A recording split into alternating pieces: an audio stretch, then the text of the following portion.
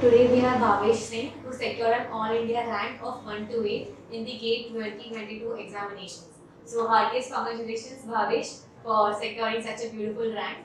And today we will be learning about his journey through his own goals. So my first question to you is what motivated you to start prepping for GATE?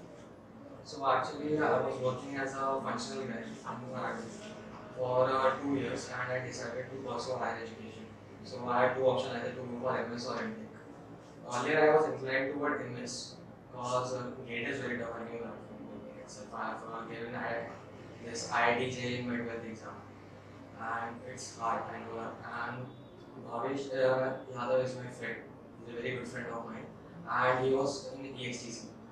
So he was with me, and after uh, having his job for one year, he left his job and prepared for GATE with RSV only, and he got a rank of 162 and got an IIT Bombay. So that was the turning point. Like uh, I thought that I can also do this, so I consulted him, and he guided me very well. So I uh, left my job in the year around 2019, and then I prepared, and uh, but I could not secure very good rank. It was somewhere around 4,000 and then I knew that uh, I have not given my best. I did not give any other exams. And I told my mom and dad I want to give one more chance to it. And they were very supportive, and I'm very blessed for that. Like at this age, after like 26 years, um, that supportive and so I went there and I did not even inform RSV sir. I just took admission directly. So when I took admission and I was uh, there in the class, he was uh, saying that you directly took admission, did not even consulted me but it was okay. I was uh, fine with it. And then after that, I knew what was mistake I have done in my previous attempt. That I have not given test enough test at all, and I did not follow him. So that was all. After that, uh, I realized that I started giving my test from April onwards. Whatever he said, I followed it. Even 60 to 70 percent, I could not follow it completely. It's very tough to follow. So 60 to 70 percent was more than sufficient, I guess. And that's what brought me on here.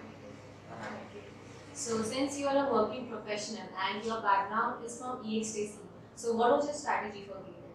See, strategy was like I knew I don't know anything about CS. So the very first person I would directly call was Bhavesh. Because he himself is from electronics and I know what he has gone through throughout his journey. So I know there is someone who can guide me from electronics perspective, like what he did, how he, what was his approach towards that subject and all, how did he prepare. So I completely, I knew that uh, he'll guide me, so I just followed him. Any advice, uh, if I required any advice at any time, I would call him directly. So what were the challenges which you faced while preparing? Preparation challenges uh, like starting everything from scratch. Like when you do a job, you go into your comfort zone and you have to get out of it. So yeah, that is a bit challenging. But after two years, I realized that I have to study. So initially, I started with uh, studying random things, whatever I like, for one or two hours along with my job.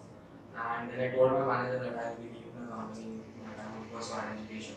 And he was very supportive. And like uh, it's very rare to find managers like uh, that in uh, IT industries. So he was also very supportive. You know, and along with that, so what I did was. Uh, before taking admission into GATE, I went through some of the videos which are available freely on YouTube and all other platforms. So I could connect like what they are saying, I could understand. So I knew that I will be able to do it. It won't be that hard.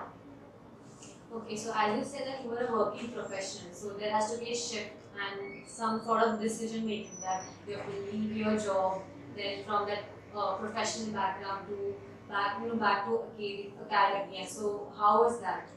How you dealt with all that mental pressure and Yeah, like um, this uh, company was uh, good. Like I was working in Iraq and the salary was also very decent. Uh, and uh, it was a time like uh, even if I could have switched, uh, my pay would have been very good. So and my uh, peers, all those who were working there, are earning good. So yeah, if you are thinking in that direction, like yes, but I had a broader uh, perspective in mind. Like I wanted to study. Uh, getting into IIT was my dream. I uh, given earlier. I have said that uh, JEE I have given. I did not mention. I also took a drop after 12. I went to Kota. I prepared, but I could not clear that. Then again in my third year, uh, I attempted uh, this. I enrolled in the institute for GATE itself, but that was for electronics. So I have done my BTech from electronics. So I was uh, thinking of doing MTech in electronics also at that point of time. But this uh, after one year, uh, I started enrolled in third year in that institute.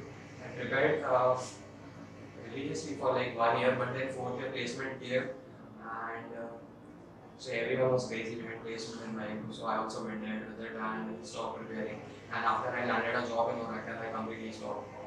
Uh, so I was like, um, I got a good job now, why I studying more? So I left it. And I went for the exam, I did not even look uh, what my score was and everything. But after uh, one year itself, like Amish was preparing for IIT, and everyone in my friend circle, like they were preparing for higher education, some were going for IIMs, and some went for MS. So like I was like, uh, I also have to do something like the FOMO fear of missing out thing. So that actually encouraged me. So when your parents says that you should choose your friend circle very wisely, like it actually went for me. So if it wouldn't have been for them, like uh, I would still be doing job in IT sector. Okay, so as you uh, mentioned earlier that you solved a lot of PYQs and test series.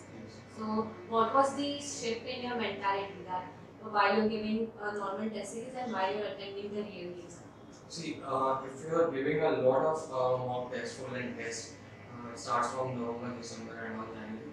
So the real gate, yes, the pressure will be more because uh, there you can rectify your mistake, you can learn from them, and again you can give a mock But gate comes one year, you goof about there and it's gone.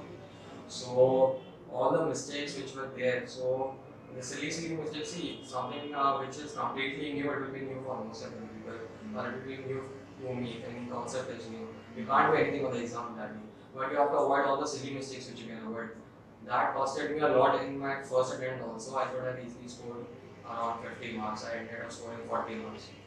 So I knew that uh, the first thing I need to avoid is and I fo- focused a lot on them.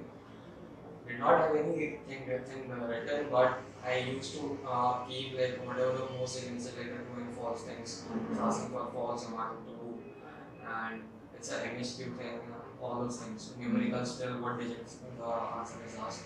So after you give a lot of mock tests, so it becomes a habit. So that's the main point uh, which I will emphasize on. Like giving too many, too many of tests is like a good practice for it. Okay. So after going through all of this and after getting such a sweet taste of success, what do you think, you know, how has it changed your life? It has changed my life in immense number of ways. Like, uh, I did not believe in myself first of all in my first attempt that I could be a. So Bhavesh had faith in me. He was there with me for four years. He knew what I am capable of. But then Rajesh sir was with me. He said that I can do it.